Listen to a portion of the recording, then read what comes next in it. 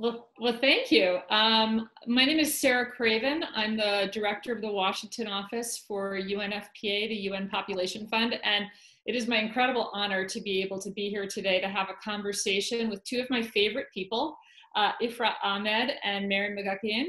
Uh, we met uh, almost a year ago in Nairobi at the Family of Women Film Festival Nairobi Summit version. So um, it's exciting to me that the film that we uh, saw in Nairobi is now coming to Sun Valley and that I have a chance to talk to you both. So I guess the first question I just want to say is, how did the two of you meet? And, you know, Ifrah, your story is incredible, um, but where, you know, where did Mary find, find you and how did this story um, come to film?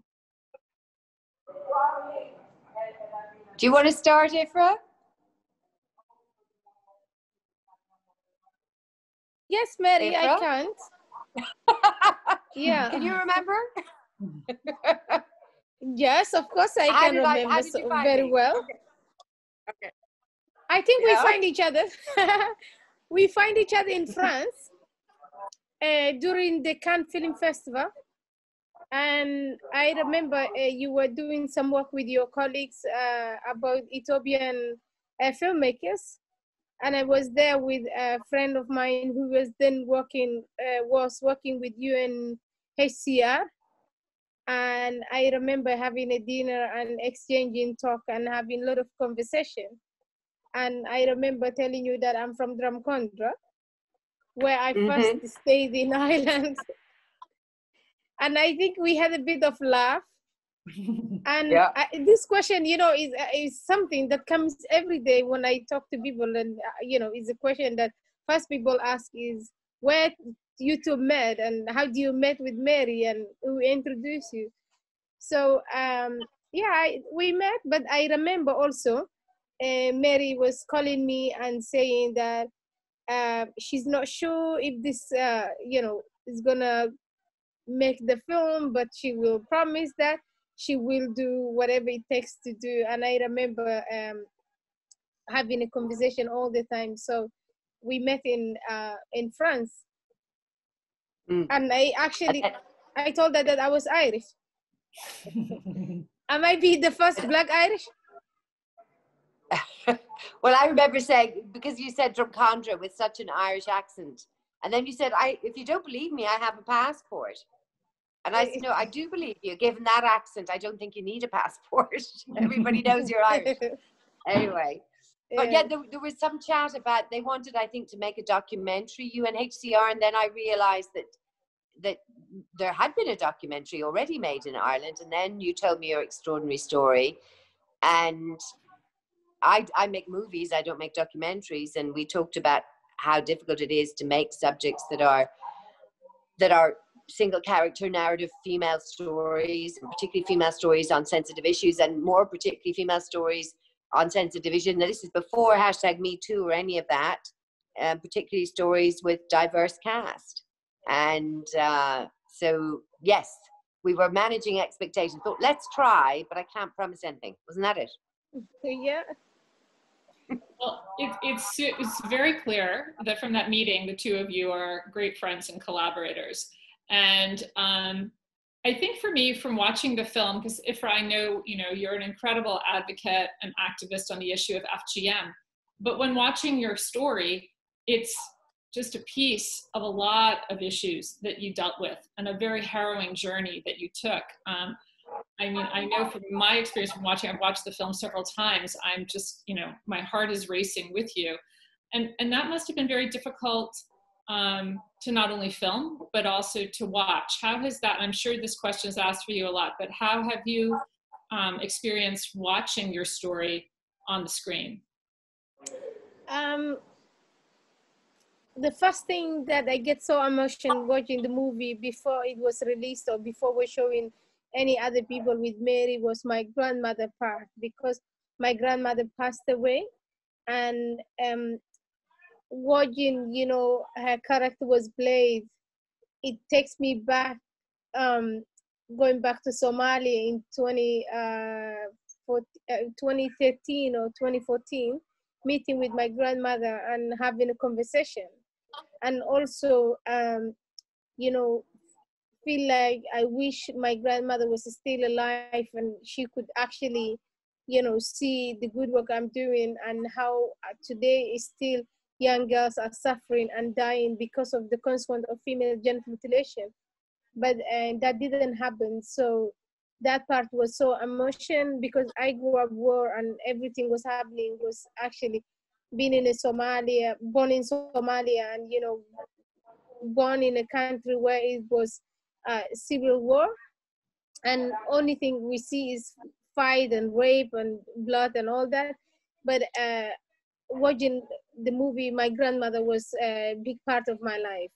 And also uh, getting the necklace which i i wear every day uh, when i think my grandmother. So um, it just rem- remind me uh, my grandmother becoming irish citizen and returning home and meeting with her that gets so emotion on me. And i felt i wish i could share a lot. And today she could see what i'm doing now it actually helps with many young girls to save their lives. So it wasn't easy but uh, also uh, when we watch on the movie on public with other people and i get uh, answer like other women who come from whether somalia whether african other african countries where the um, the issue of violence was such a normal thing when they say that this related to, the, to their life or related to their mothers or you know aunties or sisters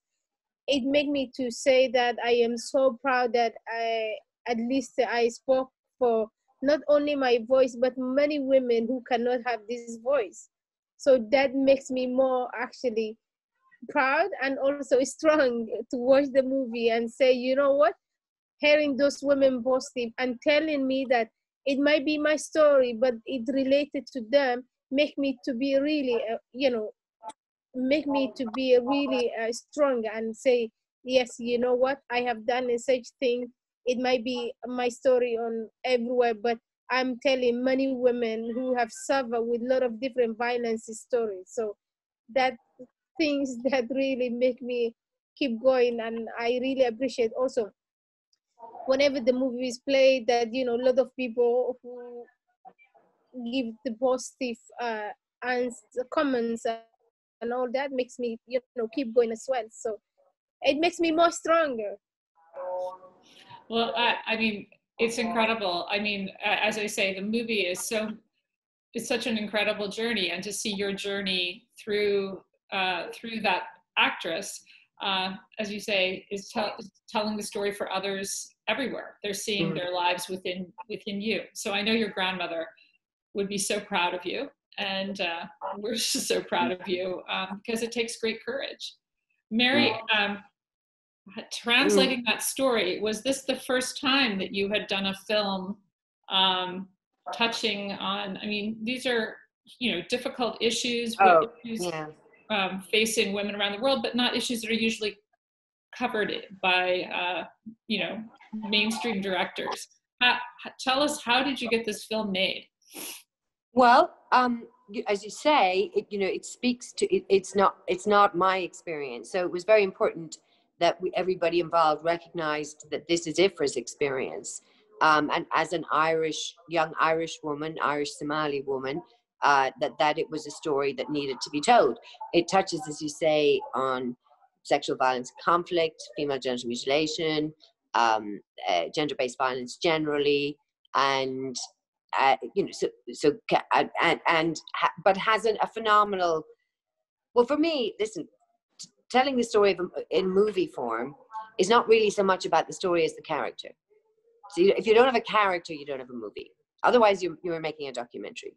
So I suppose you know Ifrah just is one of the most phenomenal, charismatic people you'll ever meet, and you know she has a phenomenal charm and uh, uh, charisma that everybody responds to, be it in an IDP camp or or at a, at a high level event, and and that and her achievements seem to me to be not just her your healing effort, but you know you know this because we've discussed this before, but also the the capacity to move hearts and minds that is fundamental to change when we're dealing with human rights issues um, is is the great power that she has. So to me, it became a movie about the power of testimony, about the power. What happens when one young woman has the courage to stand up and tell her story? And we now know in the last few years, with all of the movements uh, that have taken place, that the, that the great change can happen and has happened recently as a result of that testimony. So, uh, of, of the result of the power of testimony. Uh, so to get it made, we just happened to be hitting. I didn't think it would be possible.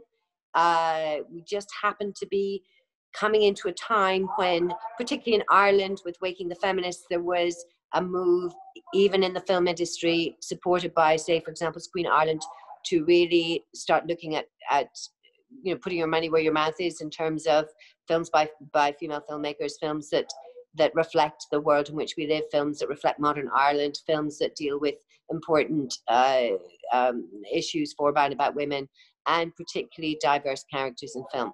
So this was kind of slightly putting it up to the world to say, you're all talking about this. This film ticks all those boxes. Write the check. And to be fair, they did. So we got to make it. And um, the, was it filmed? Tell me where the where it was filmed. And in terms of practically, it was it you know a complex story that takes place in a number of countries. As you know, it takes place in Somalia, partly across Ethiopia, oh, Kenya, actually. Um, uh, Belgium, across Europe, Ireland, where Ifrah landed, and then, of course, our many travails across across Europe. So we split it into three sections in a way. There's the story that happened in Somalia, the story that happened across Europe and the story that happened in Ireland. So Ireland, we shot for Ireland. All of mm-hmm. Europe, we shot in Belgium. And then everything that was Somalian exteriors, we shot in Morocco in the end. But we were very anxious to make sure that people, so if it was very across every aspect of the film from the story to literally the design, the costume design, and the authenticity of everything Somali. Well, it, it was, it's, it's stunning. And um, you feel like you're right there. You feel you are you are making that journey and um, it's uh, um, well we were together in nairobi in november and this was a, a, a, real special treat that you allowed us to screen the film there because the premiere i believe was in february um, mm-hmm. little did we think that we would be facing a pandemic so yeah. tell us mm. about how um, how you've had to uh, get the film, film out to the world uh, under an unusual time. And also, Ifrah, maybe you can also talk a little bit about how the pandemic might be impacting your work. So first, just on the on getting the film out, um, and I need to say thank you, Sarah. It was it seemed like a crazy thing, and you know, very distant. The idea of showing a kind of a version of the film in Nairobi to me, and I think Ifrah, you'd agree, it was probably the worst possible circumstances a bit of a download with a mixed sound thing with an ac getting in the way with 100 people crammed into a room for 60 people sitting on top of each other and the picture was kind of faded i think. But i've never known a screening have such impact. And on a, if you can speak to the people who were coming out and talking to you and going back in again. And we, maybe we'll come back to the impact that that has had on Ifrah's work in Somalia and the projects that are emerging out of that awareness. Um, in short form, otherwise, yes, the pandemic completely crashed our release. We were due to release the film on April 3rd in the UK, Ireland, across Europe, and the US.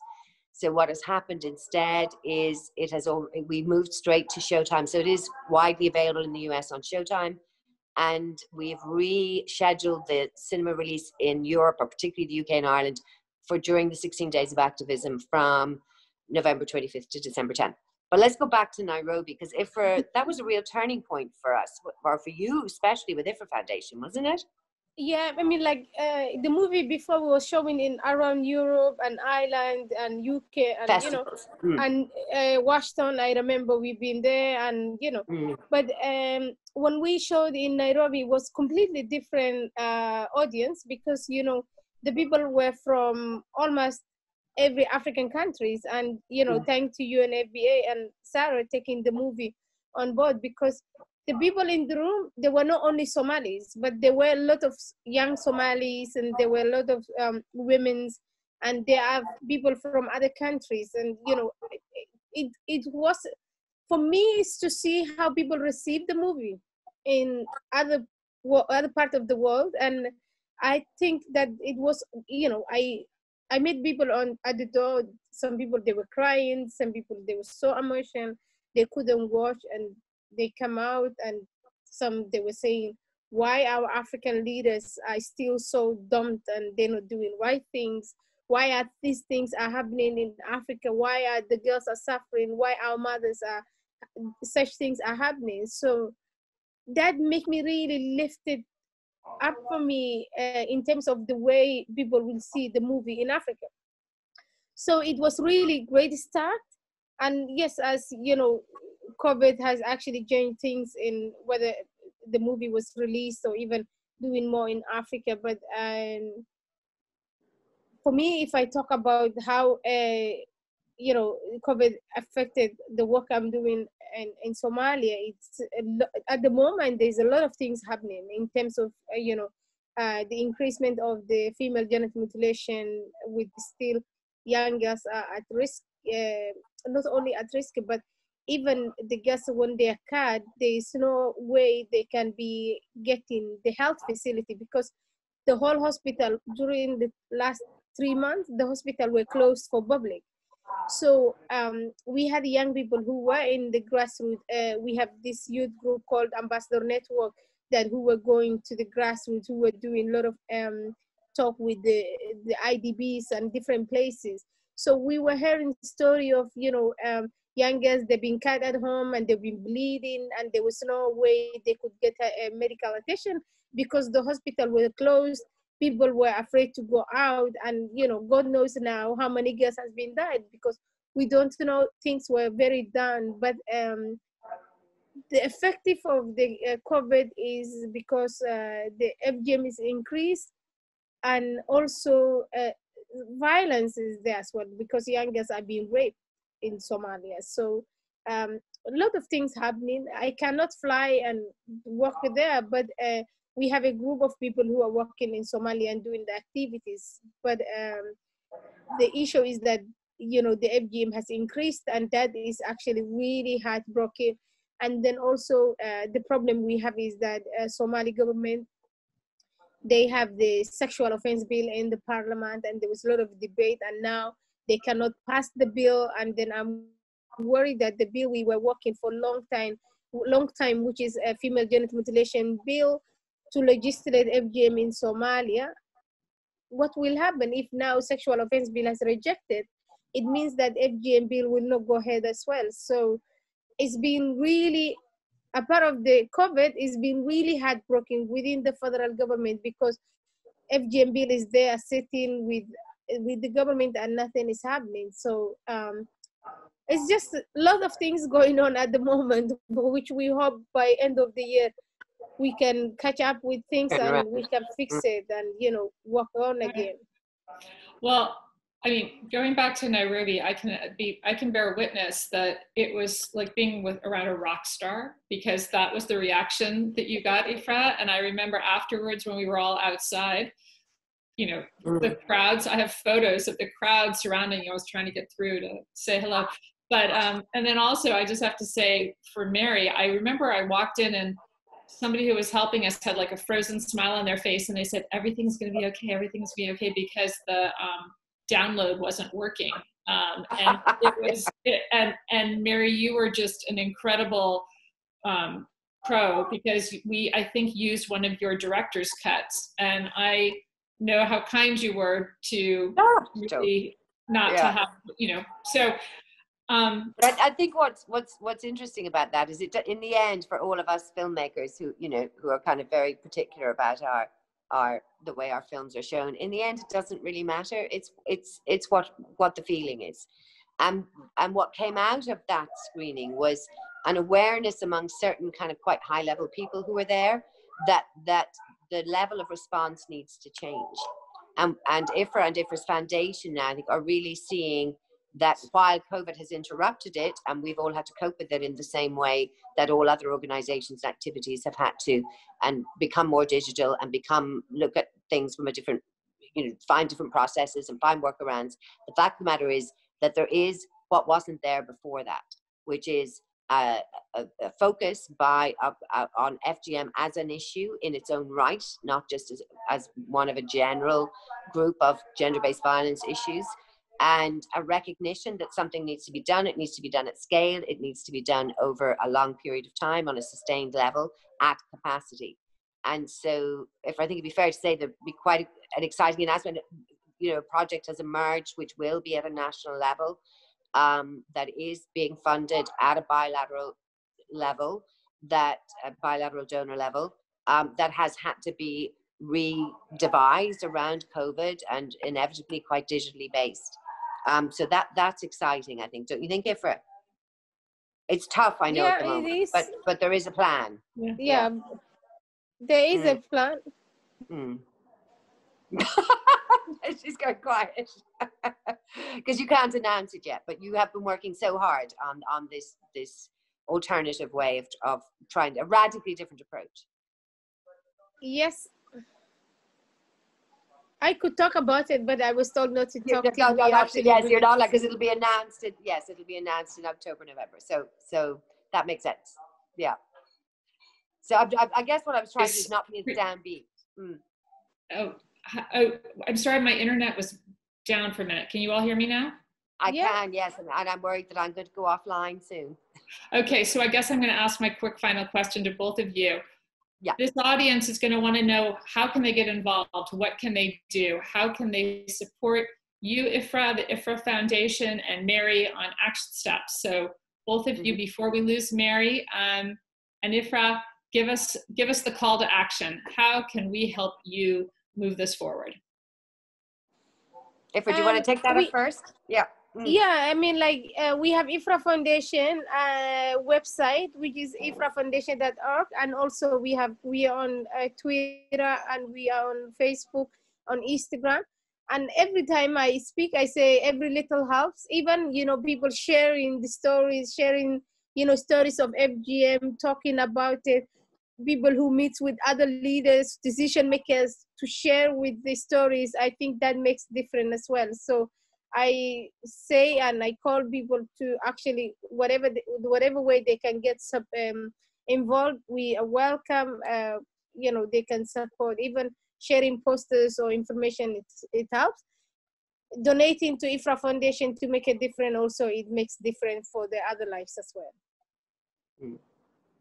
As Ifrah always says, it's, it's in every woman's story. Ifrah is one of 200 million women worldwide who are living with the consequences of FGM it's a huge issue. And anything anybody wants to do, be it on social media, writing to their ministers, writing to their, uh, just engaging on any level. There are many, many activists out there, lots of CSOs. And if you have some influence, please use it. It's something that should not be happening in the 21st century. Well, I, I wholeheartedly concur. And I want to thank you both, um, Ifrah and Mary, for joining us today. I want to thank Peggy Goodman and the, the, team with A Family of Women Film Festival. We all wish we were in Sun Valley, um, mm-hmm. but thanks to Zoom, we were able to join you tonight. So God bless. Thank you, Peggy. Thank you, Sarah. Thank you. Thank you all very, very much.